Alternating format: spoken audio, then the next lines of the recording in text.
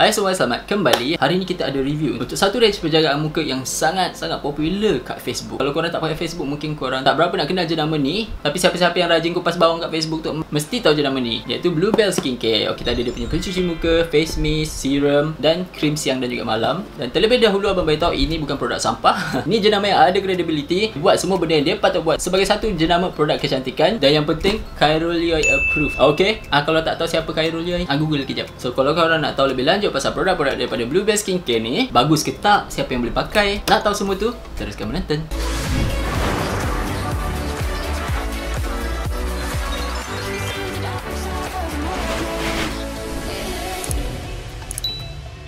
By the way kita masih raya kan di bulan Syawal So kita pakai baju Melayu lah hari ni Meriah tak raya korang? Abangnya sendu eh macam abang cakap tadi Bluebell Skincare ni ialah jenama yang legit okay? Dan satu lagi benda yang penting yang abang rasa Ada setengah orang kat luar sana yang ambil berat juga Ialah produk-produk ini semuanya ada pengiktirafan halal daripada JAKIM. Dia tak gunakan bahan-bahan terlarang dalam produk-produk dia Dan dia ada buat ujian makmal untuk buktikan yang produk dia bebas daripada semua racun tu. Jenama ni agak naik dekat Facebook pada ketika negara kita dilanda dan dibanjiri dengan produk-produk sampah. Yang ada krim siang malam berwarna-warni, warna kuning, warna purple macam biskut raya Macam banyak-banyak sampah di lautan tu Tiba-tiba muncul satu permata. Sebab tu jenama ni agak naik jugalah pada waktu tu. So ramai orang kenal dekat Facebook okay? Tak nak berlengah lagi kita terus cakap pasal set ni. Ini dia punya complete set tak silap abang. Datang dalam box macam ni Cantik juga kotak dia ni.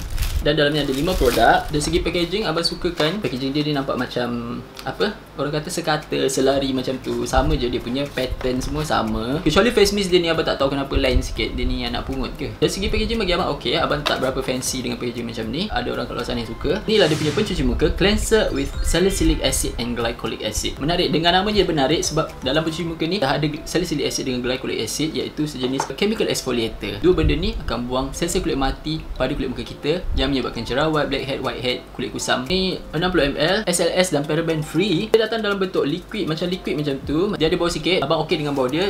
Bagi abang tak tak terlalu kuat. Dalam ni ada salicylic acid, witch hazel, lactic acid, glycolic acid. Ada dua jenis AHA dan satu BHA dalam ni. Tapi ada bahan pewarna juga dalam ni. Macam korang boleh tengok. Warna dia macam kuning-kuning hijau. Hmm, tu satu benda yang abang tak suka pasal cleanser ni. Bagi abang tak perlu kot ada warna tu kan. Warna putih pun orang pakai juga kalau bagus. Cleanser ni ada buih tapi buih dia tak banyak. Dan pengalaman abang pakai cleanser ni, dah lah abang kulit kering. Pakai ada HA, ada BHA dalam cleanser. Patutnya abang akan rasa sangat-sangat kering kat muka lepas pakai cleanser ni.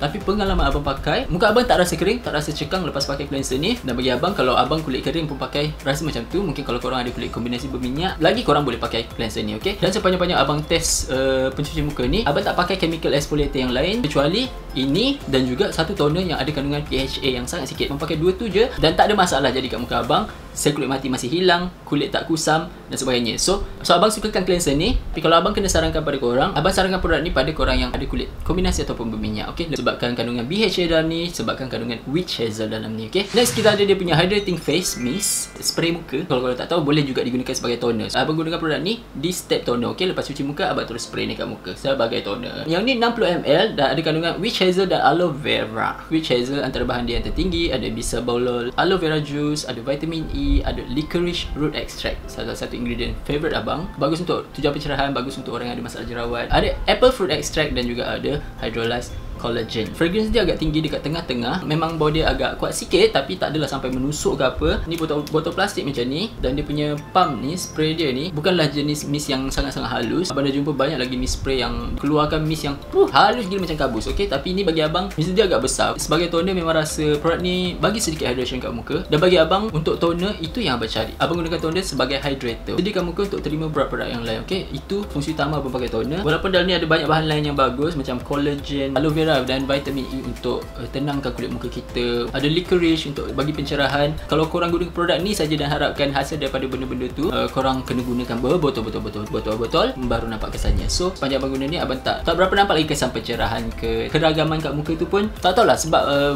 kulit jarang meragam tapi yes dia hydrate muka sikit tapi untuk abang yang kulit kering ni Tak cukup bagi hydration pada abang Dan pendapat abang salah satu punca dia ialah Kandungan witch hazel dalam produk ni Pada yang tak kenal witch hazel ni Tumbuhan semula jadi Tapi dia bersifat astringent okey macam alkohol ada orang yang akan alami kekeringan lepas pakai produk yang ada kandungan ni okey dan abang pun kurang minat pada produk-produk yang ada hazel memang abang rasa dia mengeringkan muka sikit so pendapat abang kalau tak ada hazel dalam ni abang akan rasa lebih hydrated tapi disebabkan bahan tu abang tak rasa cukup hydration yang abang dapat daripada toner ni tapi kalau korang kulit kombinasi ataupun minyak mungkin korang akan suka face mist ni. Next kita ada dia punya Radiant Serum. Tadang. Yang ni 30ml dan dalam ni ada hyaluronic acid dan juga vitamin E.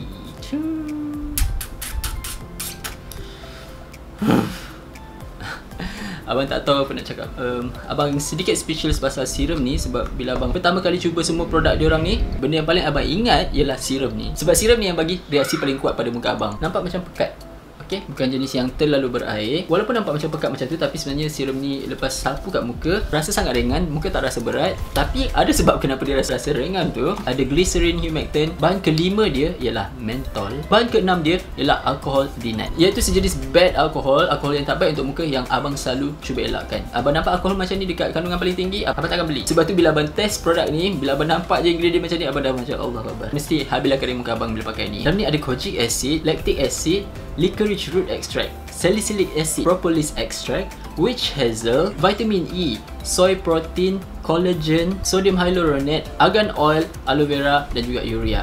Banyak sangat kandungan yang bagus dalam ni. Okey, ada untuk ada untuk melembab, untuk mencerah, bagi hydration, melawan jerawat, untuk anti-aging, untuk bagi kesan soothing, tenangkan muka. Semuanya ada dalam ni. Tapi cuma tu je masalah abang pasal serum ni kandungan ke-6 dia alkohol dan kandungan kelima dia. Korang tahu tak mentol ni apa? Kadang-kadang korang pakai sesetengah produk korang pakai bila korang apply kat muka korang rasa macam, "Oh, sejuk." Sejuk dingin macam tu. Itu yang dibuatkan oleh mentol. Tersapu kat muka rasa dingin macam tu kita rasa macam, "Oh, seronoknya. Tetapi mentol ni akan buatkan muka rasa kering juga. Kalau ada kulit kering, confirm akan rasa dia punya kering tu. Korang ada jerawat dan kulit sensitif, muka korang akan merasa. Mentol yang sikit-sikit kat bawah-bawah mungkin okey, tapi mentol ni kandungan kelima dia. Dan bila ditambah lagi dengan alkohol dinat dalam tu, Memang muka abang rasa kering gila Abang lama tak pakai serum yang ada kandungan alkohol dalam dia Bila abang first time apply ni kat muka Huh, Sekejap je abang sapu terus dia macam terus kesat muka abang. Selalunya abang pakai serum Terus rasa muka macam lembab sikit Toing-toing sikit. Tapi bila abang pakai ni Terus start dah rasa kering. Start dah rasa kering kat muka abang tu. Dan satu lagi benda Bau dia agak kuat okay? Dan dia kering kat muka abang.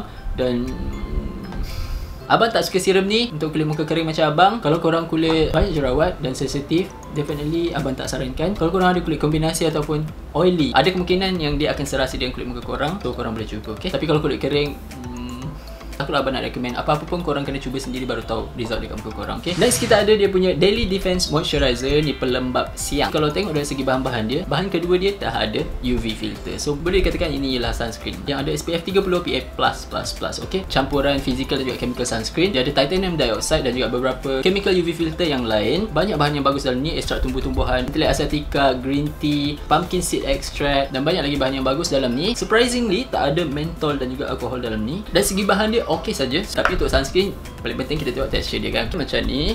Okay, dia macam bentuk krim macam tu kandungan titanium dioxide tu muka akan nampak putih-putih sikit. Pada muka abang tak nampak terlalu ketara tapi kalau korang dalam kategori gelap sikit mungkin sunscreen akan nampak kelabu sikit kat muka korang. Berat sikit ambil masa yang agak lama untuk blend. Kalau nak bandingkan dengan sunscreen-sunscreen lain yang abang pernah pakai. Tapi finishing dia tak adalah kata glowing ke tak adalah kata matte ke. Agak natural finishing dia. Rasa tak terlalu kesat tak terlalu lembab. Bagi abang sunscreen yang ok kalau nak abang recommend lah sunscreen ni lebih sesuai untuk korang yang ada kulit. Kombinasi ataupun oily sebabkan finishing dia ni lebih kepada matte sikit. Kalau orang kulit kering pakai sunscreen ni akan rasa sedikit kering gambar sikit je sikit je dah je dan yang terakhir kita ada dia punya night moisturizer pelembab malam dia. Ada stem cell dan juga collagen dalam dia. Uh, ini 30ml juga. Datang dalam bentuk pump macam ni. Satu benda yang abang suka untuk moisturizer sebab kita tak perlu nak colek-colek macam tu. Tangan kita ni banyak bakteria. Bila kita colek tu bakteria dah masuk dalam botol tu. So pump-pump macam ni bagus sebab dia elakkan benda tu. Dia bentuk krim macam ni. Biasanya krim macam ni lebih sesuai untuk orang yang berkulit kering. Tetapi Perasaan pakai dia Muka rasa lembab sikit Tapi tekstur dia tak melekit.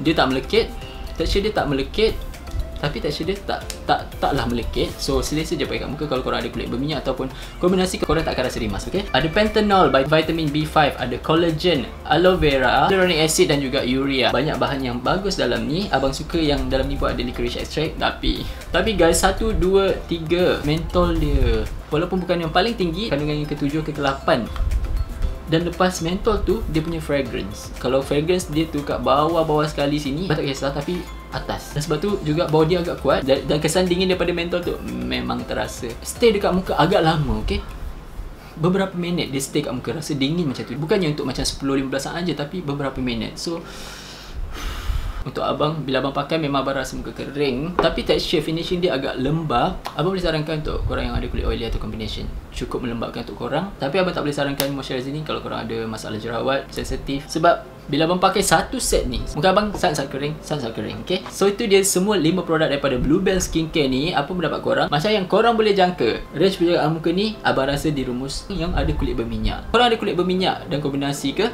InsyaAllah Korang akan sesuai pakai produk-produk dia ni. Mungkin korang pakai satu set pun tak ada masalah. Tapi kalau korang ada kulit kering Macam abang uh, Abang tak recommend. Tu pengalaman abang.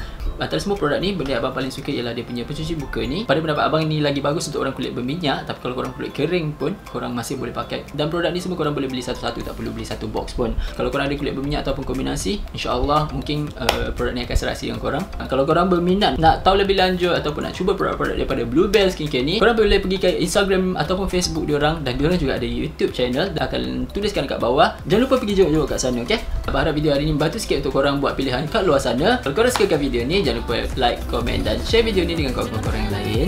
Jumpa lagi dalam video akan datang. Terima kasih semua. Bye